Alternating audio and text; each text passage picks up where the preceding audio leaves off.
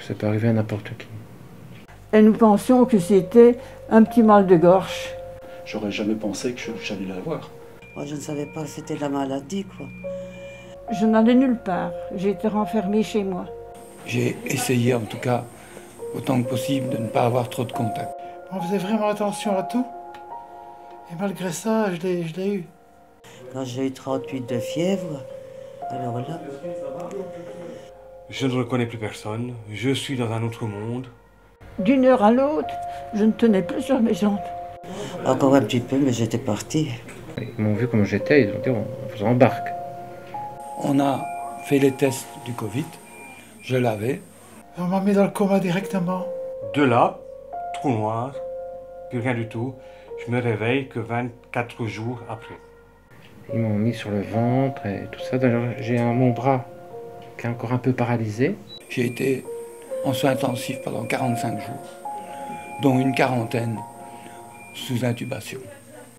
Que pendant une période, j'ai été 16 heures sur 24 couché sur le ventre.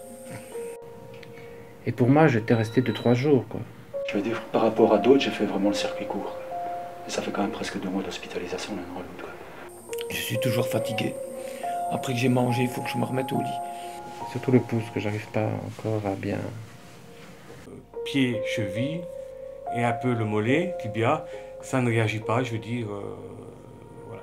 Toutes des petites choses qu'on fait naturellement et que quand on est passé par le Covid, on se dit mais comment on en est arrivé là? Si je retrouve la marche, je serai déjà bien contente. Rentrer à la maison, j'y pense pas pour l'instant. Comme ça, je me fais pas de tort. C'est une belle saloperie, cette maladie. C'est une maladie euh, épuisante, qui tue.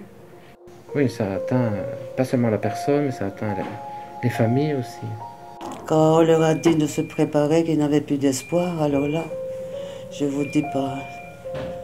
Il y a des gens qui n'avaient rien, qui étaient, qui étaient sains, ils n'avaient pas de maladie spécifique et qui ont été touchés par le Covid. C'est une maladie terrible. Elle vous démolit quelqu'un en rien de temps. Les séquelles sont là les nuits. Par moments, je me réveille par sursaut. J'ai des flashs du coma. Et là, bah, il y a des moments, voilà, j'ai pas peur de le dire, on pleure un quart d'heure, 20 minutes. Le souffle qui est trop, qui se coupe par moments, je n'ai plus de parole. Je comprends qu'on a envie d'aller boire un verre dans un café, mais restez, restez prudent. Il faut pas prendre ça à la légère. Faut pas se dire ça n'arrive qu'aux autres, ça peut vous arriver. Laver ses mains, mettre un masque quand on sort. Mais quand on a un petit peu d'humanité en soi, hein, on cherche qu'un autre ne l'est pas. Hein. On cherche qu'un autre ne passe pas ce que vous avez passé. Ah oh, oui, ça oui. Parce qu'on a l'impression que, que c'est parti, mais ça stagne. C'est là. C'est, euh, ça peut redémarrer à tout moment. C'est douloureux, c'est impressionnant, c'est choquant. Par mon expérience, restez prudent, restez prudent. Préservez-vous, préservez les autres. Ça, c'est, c'est la chose. Lavez-vous les mains, n'ayez pas peur. Votre c'est difficile à supporter par moment. Mais il faut qu'on fasse des efforts. Il hein. faut qu'on fasse des efforts. Hein.